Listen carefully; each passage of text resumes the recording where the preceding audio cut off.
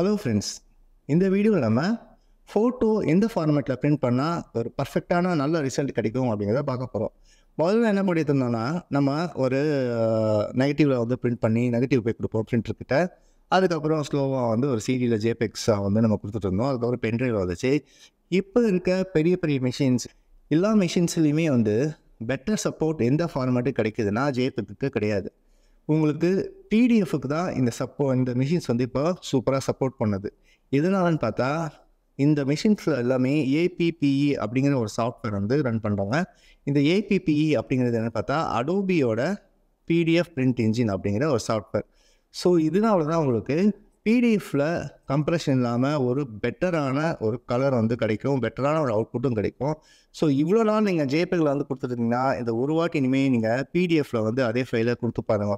பிரிண்ட்டுக்கு இல்லை உங்கள் பிரிண்டர்கிட்டே செக் பண்ணுங்கள் அவங்களுமே இதே தான் சொல்லுவாங்க.